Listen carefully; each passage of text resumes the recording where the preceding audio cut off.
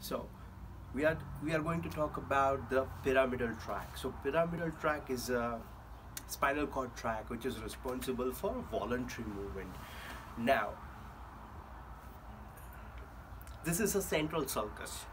So anything that is anterior to the central sulcus has a motor command, but anything posterior to the central sulcus is a sensory command.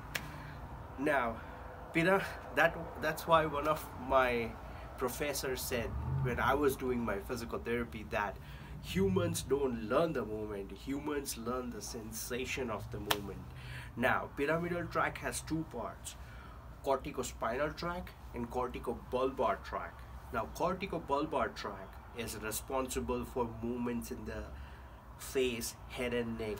Mm-hmm. whereas corticospinal tract is responsible for the voluntary movement. Now there are so many structures which are responsible for voluntary movement as your cortex your brainstem your cerebellum and even your spinal cord. Anything above anterior horn cell is considered as an upper motor neuron thank you